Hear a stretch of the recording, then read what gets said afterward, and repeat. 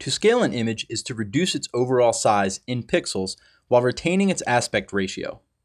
No parts of the image are removed, you are simply making the entire image smaller in size. And by scaling the image, you're also reducing its file size, which will in turn speed up the load time for your site. This is a best practice, and it can create a better user experience as well as improved search results. So in scaling an image, you choose to reduce either the width or the height. WordPress will automatically calculate the other value. For example, if your image is 1600 pixels by 800 pixels and you change the width to 800, the height will automatically adjust to 400 pixels. Essentially, both numbers are reduced by the same percentage amount, in this case 50%. Images can only be scaled down, not up. And for best results, you should always scale your image before you crop, rotate, or flip it. After you've selected an image and click the Edit Image button, locate the Scale Image section. Underneath New Dimensions, enter either a new width or a new height.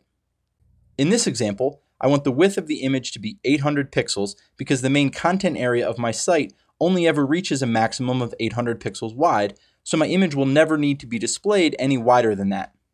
So I enter 800 here for the width. You'll notice the height automatically changes to the appropriate value in order to keep the same proportions. This happens so that the image won't get distorted. Once you click the Scale button, your new dimensions are immediately applied. And that's all there is to scaling an image in WordPress. There are a few different ways to crop an image in WordPress. You can select any part of the image freehand with your cursor. You can crop by aspect ratio. For example, 1 by 1 would be a square.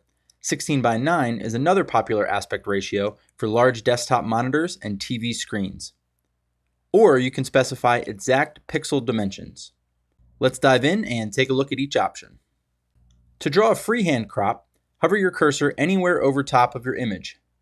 Click, hold, and drag your cursor to draw a rectangle on the image. Once you release your mouse, you can use the squares located around the edges of your selection to adjust the crop. Place your cursor in the middle of the image, click and drag to move your selection to another part of the image. Once you're happy with your selection, click the Crop button. And to save your changes, be sure to click Save down below. Now let's say you know the exact dimensions that you need the image to be. For this example, we need our image to be exactly 600 pixels wide and 700 pixels tall. First, draw an area over top of the image. It doesn't matter how big or small, just any area on the image will do. Now, we'll come over here to the image crop section. And underneath selection, we'll enter 600, followed by 700.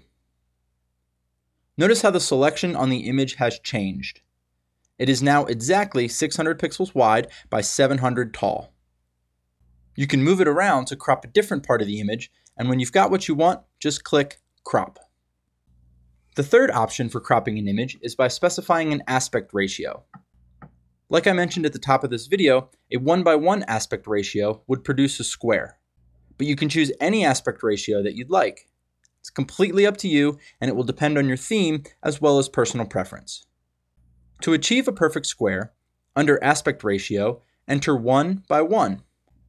Now, when you go to draw your selection over the image, you'll notice you can only draw a square. You can make your square larger or smaller, but it'll always be a square. Another common usage of the aspect ratio crop might be if you need a wide but short header image. Set your aspect ratio to something like 10 by 3 and then make your selection. This would make for a great background image that you could display text on top of. And again, always remember to click Save after you're finished cropping.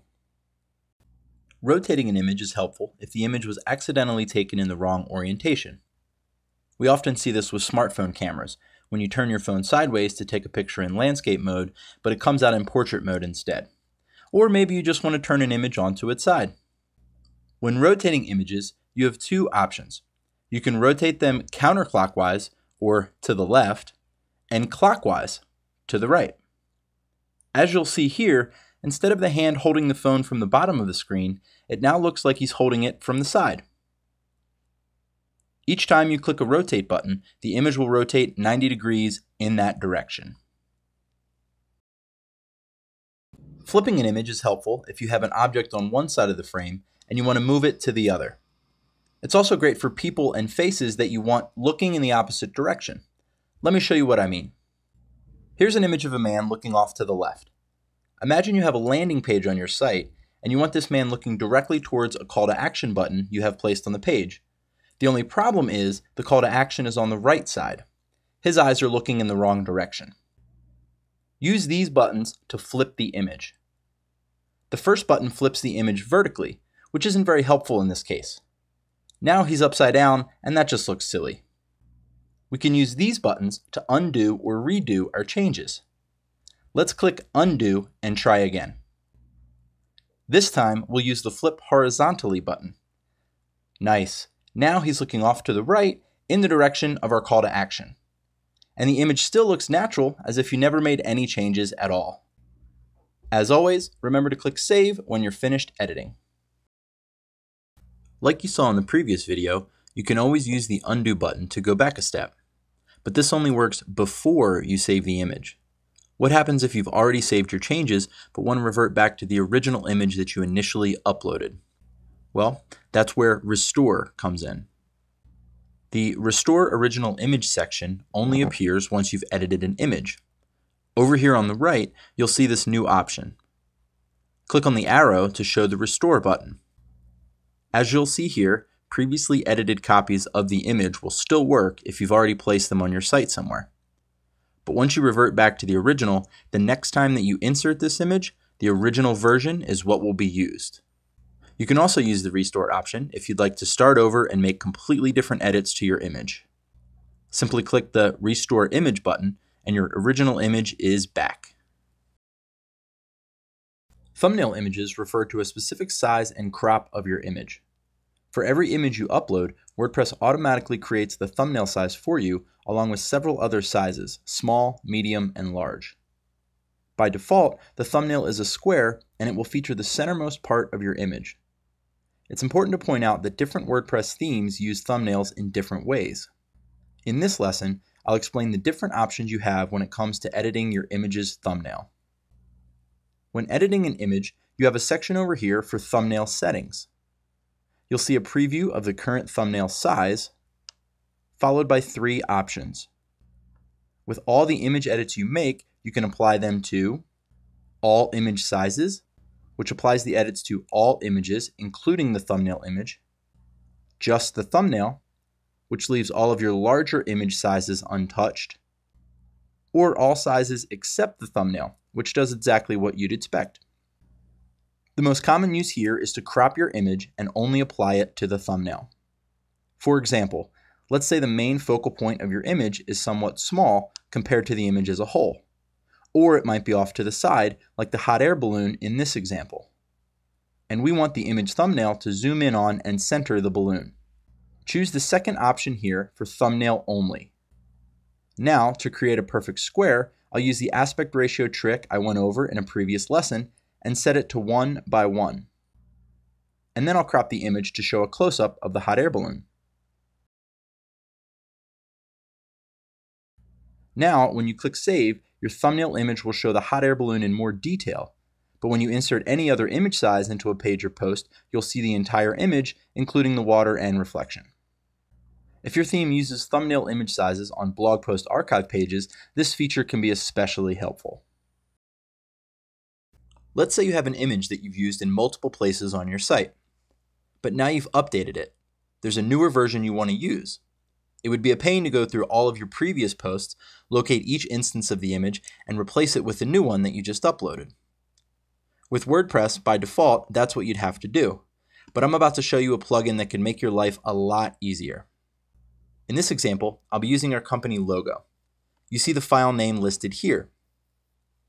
This is what's used to insert this image into a bunch of our pages. Now, we want to use a different version of our logo, but not have to update the file name. We'll do this using the Enable Media Replace plugin. Navigate to Plugins, Add New. Search for Enable Media Replace. It should be the first result. We're going to click Install Now, and then click Activate. Now let's return to our media library and open up the image that we want to replace. You'll see a new option has been added called Replace Media. First, let's click the Upload a New File button. Now I'm going to click Choose File and select my new logo file.